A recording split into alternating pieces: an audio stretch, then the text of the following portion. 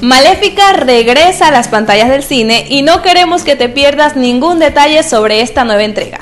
Soy Johanna Mata y te invito a que me acompañes a conocer más de esta película en Primicia Break.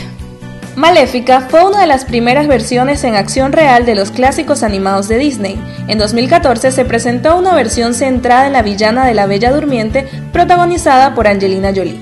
Aunque se intentó azucarar la historia de la villana, malvada es malvada. Y eso parece mostrarse en la secuela que ya está en cartelera y trae a Jolie de vuelta al ruedo con un elenco en el que también destacan Michelle Pfeiffer y Elle Fanning.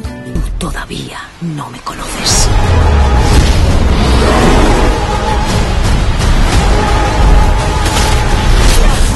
El film fue dirigido por Joaquín Ronin y debutó con muy buenos números en la cartelera estadounidense, dando la batalla al mismísimo Joker.